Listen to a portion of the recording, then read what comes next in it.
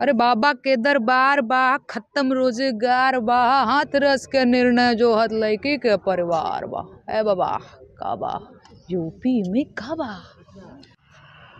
सारे दर्शकों ने मुझे इतना प्यार दिया है जो वायरल हुआ है वो है उसके बोल यूपी में काबा मैं दो लाइन गुनगुनाती हूँ। अरे बाबा के दरबार बा खत्म रोज़गार बा हाथ रस के निर्णय जो हत लड़की के परिवार बा। ए बाबा का बा? यूपी में का बा? अ, नेहा आप लोक गीतों को लेकर के और भोजपुरी को लेकर के बहुत अच्छा कैंपेन आपने चलाया सोशल मीडिया से लेकर तमाम जगह हम लोगों ने देखा। बिहार चुनाव की चर्चा करूँगा। बिहार चुनाव में जब आपने बिहार में काबा गाया तो उसके एवज में फिर मिथिलांचल की तरफ़ से एक आवाज़ आई। कि मिथिला में की नहीं छे मैथिली ठाकुर। और उसके बाद तरीके एक तरीके से देखा जाए तो मामला थोड़ा सा पलटा और उसी इलाके से फिर आरजेडी हार गई। हम्म, हम्म, हम्म, तो जो ये लोक कलाकारों के बीच में जो राजनीति को लेकर के बंटवारा है हम्म, हम्म, हम्म। क्या ये होना चाहिए? बिल्कुल नहीं होना चाहिए और मैं अगर गाती हूँ तो मैं कोई भी पार्टी गिराने या पार्टी बनाने के लिए नहीं गाती हूँ ठीक है? एक चीज़ और लोग कहते हैं कि भाई जो आप गा रही हैं तो उसे विपक्ष को सीधा फ़ायदा होता है। ज़ाहिर सी बात है फ़ायदा होगा ही क्योंकि जनता हमेशा विपक्ष की रोल में ही रहती है होना भी चाहिए उसको ठीक है? और हर विपक्षी जो पार्टी होती है, वो जनता, जब वो विपक्ष में होती है, तब वो जनता के ही इशूज़ को लेकर के आती है। 2014 की बात देख लीजिए 2017 की बात देख लीजिए, कोई सिलेंडर लेके बैठा है, कोई प्याज की महँगाई पे बोल रहा है, कोई किसी की महँगाई पे बोल रहा है, फिर जब उनकी सरकार बनती है, मैं मैं सारी पार्टियों की बात कर रही हूँ, जो कल कल तक विपक्ष में रहते हैं, आज सरकार बन जाती है, फिर वो जनता की भाषा बोलने लग जाते हैं, ठीक है?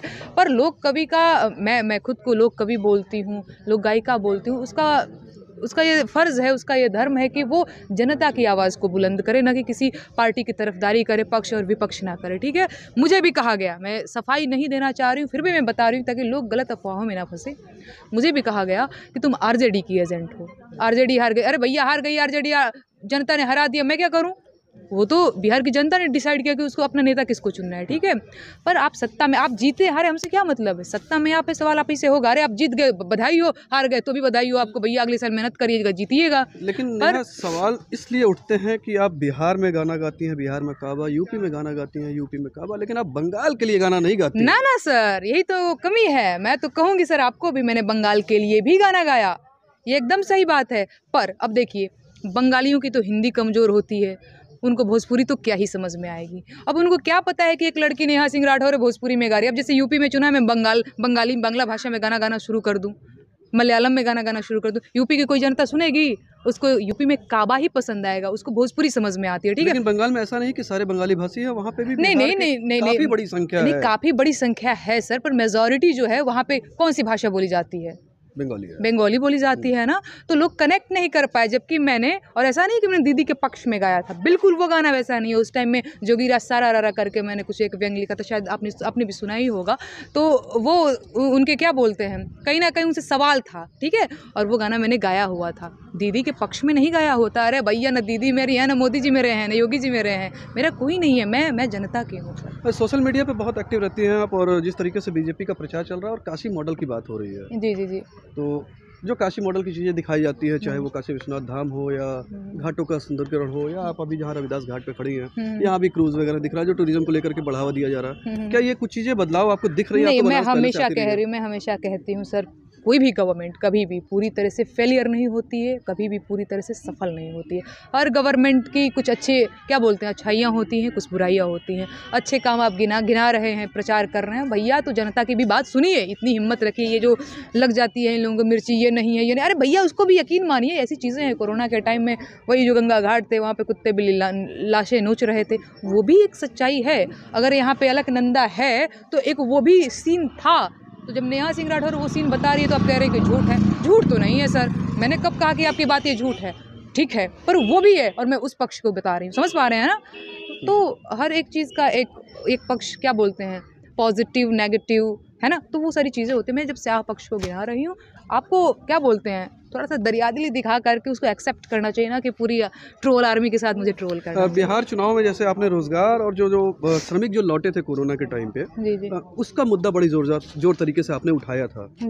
यूपी के लिए आपको क्या लगता है क्या मुद्दे हैं? हम्म, कि या केवल जो आपने गानों में चार पाँच लाइनें आपने जो बताई हैं चाहे वो गंगा की लाशें सिर्फ़ देखिए ऐसा नहीं है कि सिर्फ़ चार पाँच लाइनों में ही पूरा यूपी सिमट जाता है। बहुत सी ऐसी चीज़ें हैं और उसका तो भी पार्ट वन आया है। पार्ट सेकंड भी मैं बहुत जल्दी गाने वाली हूँ अभी मैं लिखने वाली हूँ।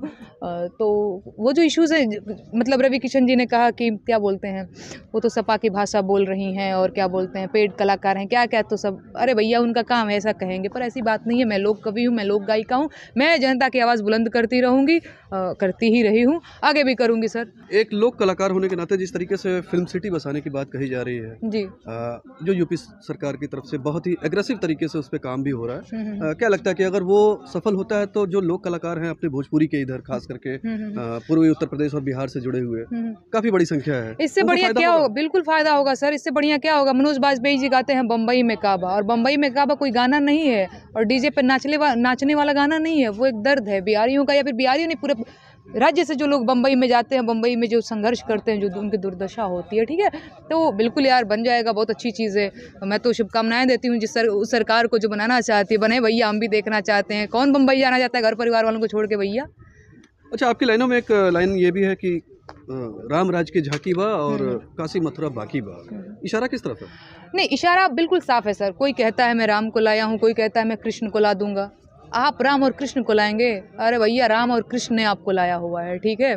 तो जनता को उल्लू बनाना छोड़िए धर्म की राजनीति छोड़िए। भैया इंसान बनिए हिंदू मुस्लिम मंदिर मस्जिद राम कृष्ण क्यों राम इन लोगों की तो राजनीति इतनी गंदी हो चुकी है कि राम कृष्ण को भी लड़वा देंगे। राम कृष्ण ज़िंदा होते तो सिर पटक के इन लोगों की राजनीति देख करके भैया समझ पा रहे हैं ना? तो मैंने यही गाने का बोल अरे वोट देवल अधिकार ह तो हर तो वोट देव जय है